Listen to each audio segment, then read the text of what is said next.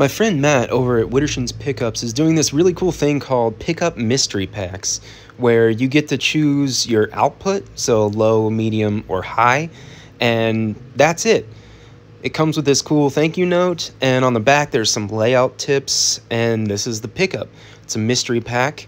I chose the high output, and he's been doing all of his own 3D printing of the bobbins. Looks like I got a hot Lynch bell. Thank you, Matt. Let's see how it looks, because he's got so many cool designs. That, oh, that's that's sick. That's the bottom right here, bridge pickup, and oh my gosh, yellow and violet. I've got an idea for this, but that looks sick.